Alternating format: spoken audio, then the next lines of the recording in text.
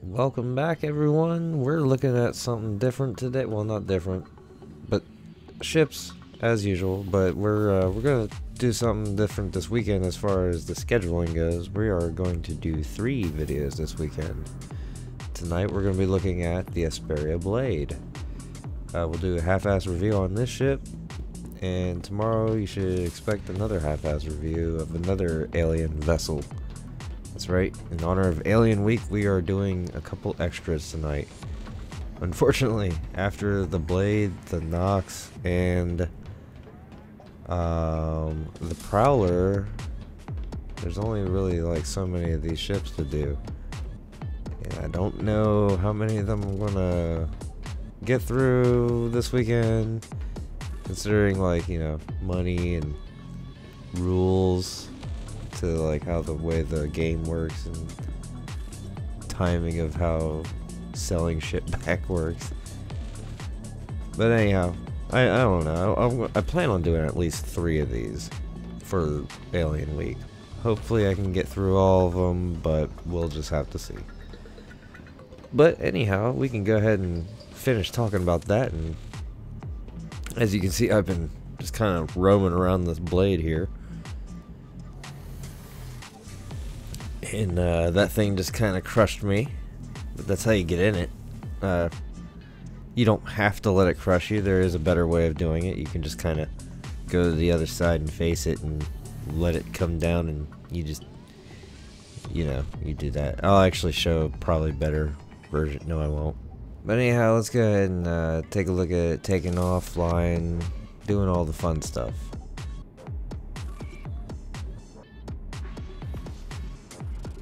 Alright, hopping up in the air here while we wait for the door open. Let's go ahead uh, pop up that landing gear. And all it really does is just pop the wings out.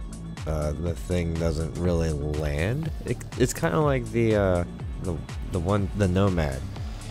it's kind of like the Nomad in the sense that it uh, doesn't really actually like touch the ground when it's on when it's landed. But whatever.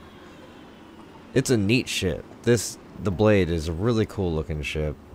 Um, we'll get into its performance here in a moment. I, I enjoy all the red, but it does kind of make life a little bit difficult with like certain color changes on the palette, but you know, we, you can get over that if you really need to.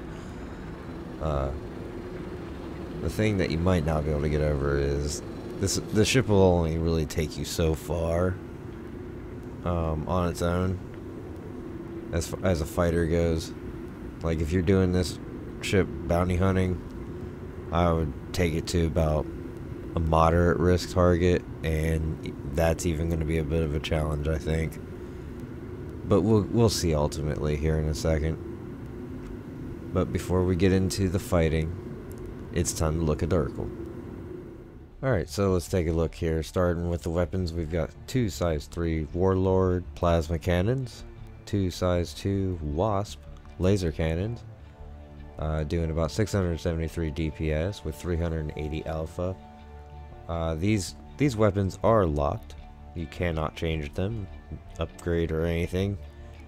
Uh, you can change all the other components, uh, minus the missile racks. The missile racks themselves can't be changed out, but of course, you can change out. You can change out the missiles so long as they're the same size.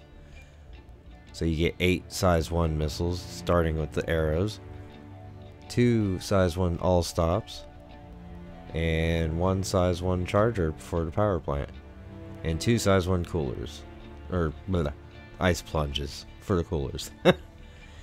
and another ship that starts with a rush. So you can make it from Crusader to Hurston, but that Microtech trip gonna take a couple stops. One or two. Actually, probably just one, I think. Got a total of 11,750 hit points. Uh, 2,500 on the body, 2,500 on the nose, the rest on the wings, I think. Cost 3.3 million AUEC at Astro Armada in Area 18 right now. Also for sale in game for I think $330. I could be wrong. Don't quote me on that price. I'm I'm not gonna go look it up either. Just it's around that. Actually, it might be around 220. Anyhow. Alright, now for the part that everybody's probably been waiting for. Let's go see this thing in action. Um, I did do two combat missions where I was flying it, and uh, I did one that was HRT, and I did one that was MRT. Uh, I'm going to show you the one that was successful. Let's just say that. MRT. It was the MRT. Here we also get a chance to take a look at what this thing looks like entering in a light atmosphere. A very light atmosphere. Uh, this is Ida, or Ida, way over in Hurston. Uh, this is a moderate target we're going after.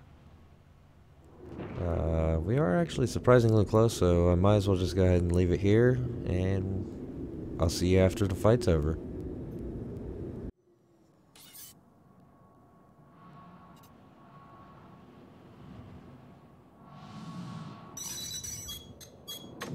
Got a surprise for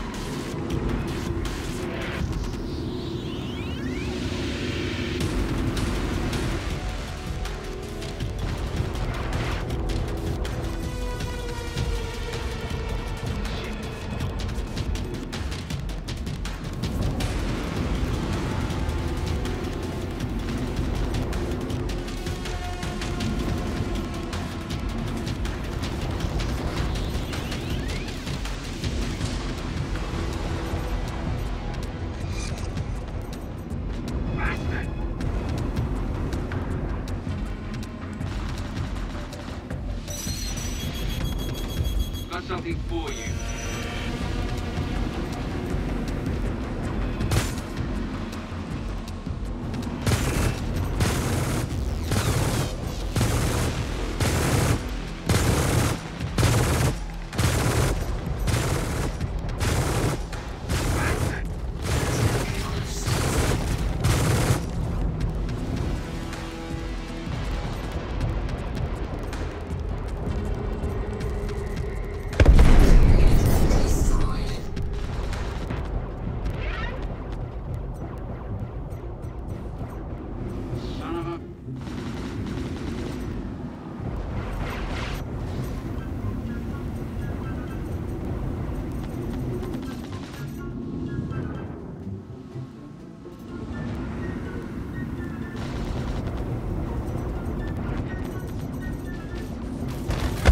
Alright, well, while it might not be the most traditional way to win a fight, I don't care. I still got him. Alright, well, I hope you guys enjoyed. If you did, leave a like and subscribe and come back for more. Bye.